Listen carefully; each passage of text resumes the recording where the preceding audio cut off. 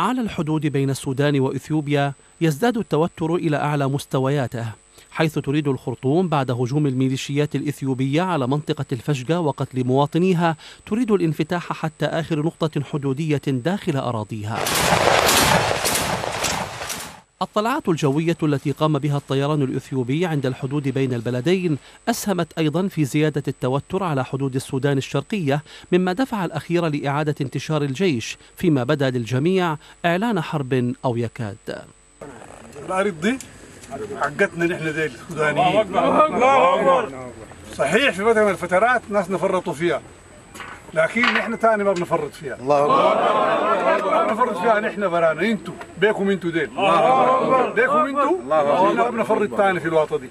أمام هذا الحديث يظهر حتى الآن أن الجيش السوداني متمسك بعدم الخروج من المناطق التي أعاد الانتشار فيها على الرغم من حديث موازن عن الدبلوماسية التي تطالب إثيوبيا بضرورة الانسحاب من منطقتين بالحدود السودانية هما قطران وخور عمر.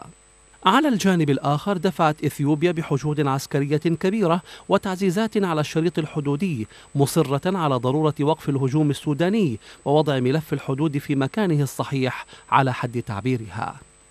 ومع توقعات تجدد الاشتباكات بين الطرفين ومخاوف تطورها إلى حرب شاملة تبقى الحرب التي يشنها الرئيس الإثيوبي أبي أحمد على قبيلة أمهر الإثيوبية هي المكبل الوحيد له في مشكلته مع السودان.